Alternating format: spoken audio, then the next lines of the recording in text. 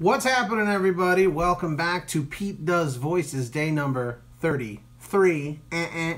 Was a little weird, a little inappropriate, but how are you doing? I hope you guys doing all right. If this is your first time joining us, don't forget to subscribe and hit that little notification bell so you get all of our videos sent straight to you. I don't know why I'm saying all of our, it's just mine, so my videos.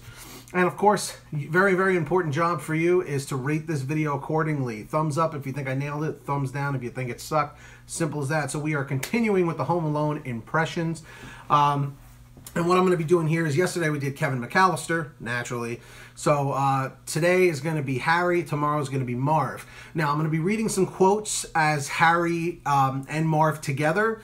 So it's kind of like a Joe Pesci, Harry, and Marv thing kind of today and tomorrow, but let's just go with it. Anyway, let's jump into this. So, uh, this is when Harry and Marv get up to the door, and Kevin is on the other side in the kitchen with the little uh, BB gun, and he's trying to negotiate Kevin to let him in. Merry Christmas, little fella. We know that you're in there and that you're all alone. Yeah, come on, kid. Open up. It's Santa Claus and his elf. We're not gonna hurt you. Oh, no, no, no. Got some nice presents for you. Be a good little fella now and open the door. Oh! What? What? What happened? Get the little. Get the. Little. So that's that little scene. And then, uh. Where'd he go? Maybe he committed suicide. I'm over here, you big horse's ass. Come and get me before I call the police. Kids are scared of the dark. You're afraid of the dark too, Marv. No, I'm not.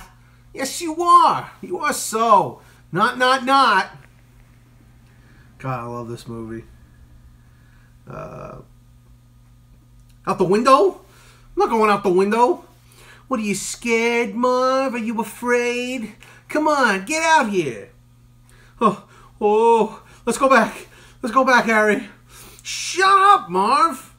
Hey, guys, check this out. oh, go back. Go back. Oh, good. And then he cuts the thing, like, and then he cuts the rope, and they go and crash into the house. Anyway, also, you got some Harry, Joe Pesci stuff where he's like, suck a fucking, suck a fucking, Like, because Joe Pesci is known for cursing like up a storm in every movie. Goodfellas, Casino, Raging Bull. this was one of the only movies that was like a family movie where he had to behave himself and that he couldn't curse. I think it was just so much funnier that Harry couldn't curse and then he would just make like the mumbling, like